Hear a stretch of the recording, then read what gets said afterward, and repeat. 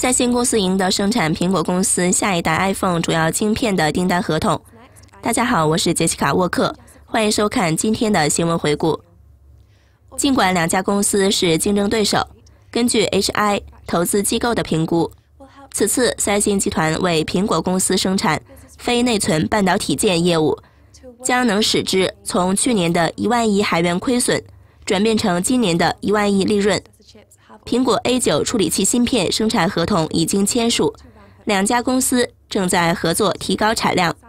苹果和三星的关系在近年来一直处于紧张的状况，竞争的争议甚至都提上过法庭。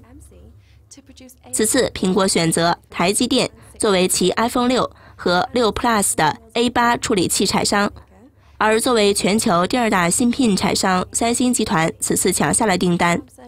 三星和台积电为了获得苹果公司的此项业务，都提高了资本支出。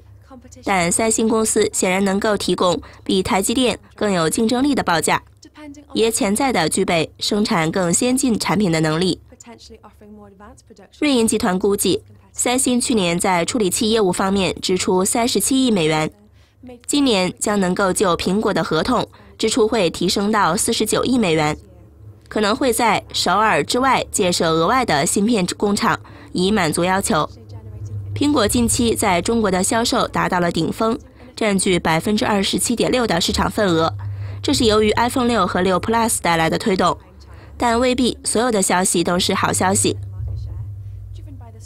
iPhone 手机二月底在美国的市场份额从去年的百分之三十九点三下跌至百分之三十八点八。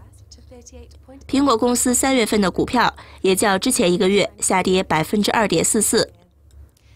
昨日公布的报告显示，支付工具 Apple Pay 的使用也没有达到预期，只有百分之四十八的苹果用户用过一次，而这其中有百分之四十七的用户将 Apple Pay 设定为其可接受的移动支付技术。本期新闻回顾就到这里。非常感谢您的收看，我们下期再见。That's all for today, but check back for the next press review on Monday. Goodbye.